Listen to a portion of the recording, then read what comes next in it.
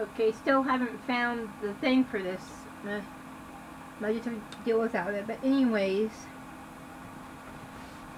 I was gonna be. Oh, and if you hear noise, that's my electric tea kettle thingy heating water up for instant coffee. But I was gonna be a little bit lighthearted, make fun of things, because I let serious topics now for a while and stick. Everything begins with E. Yeah, yesterday was entitlement, and tomorrow I'm going to do exploitation for my pet peeve. But today, which is related to entitlement, expectations. Xena and Buffy spoiled me because when a show has a musical episode, I expect some of the cast can actually sing and there will be original music.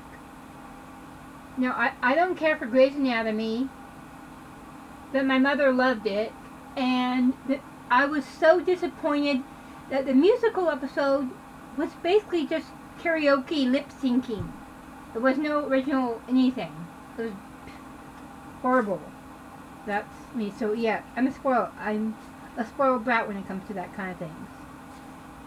But that was my all I was gonna say for my pet peeve. But then, yeah, it's just now my pet peeve is myself because we had someone at church today who the only time they're at church is when they have issues, which doesn't on itself doesn't sound bad because of course you if you have issues go to church, but um, I gotta be careful what I say because I don't want to say too much.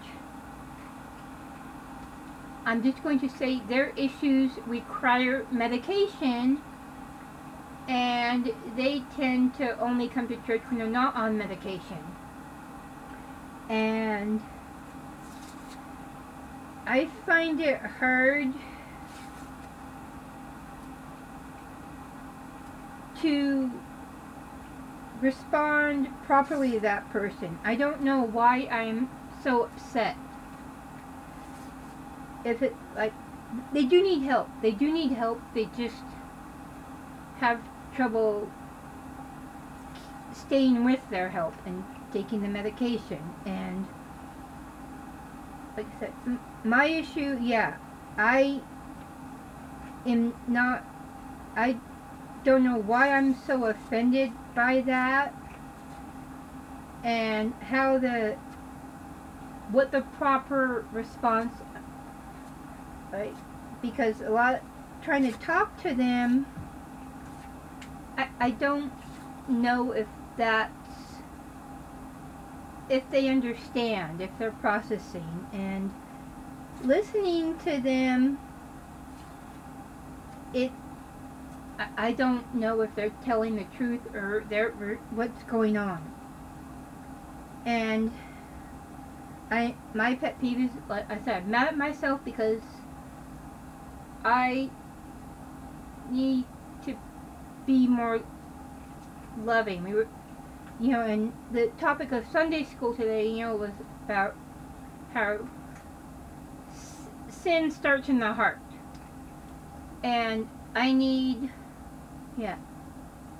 I'm not, I know my attitude towards that person is not where it needs to be. And, so yeah. It's not there. And this is a me problem. This is not, they're not a problem in this situation to me, I am. And I don't know what to do. And as my blessings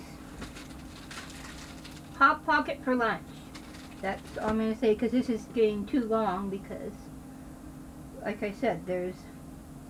Yeah, this is just told me every time I see him because the only time they're really out in the public is when there's a problem. And I, this is me. And again, they have problems, but in this situation, I am the problem. My attitude is the problem, and I don't know what to do and I hope everyone's having a blessed day.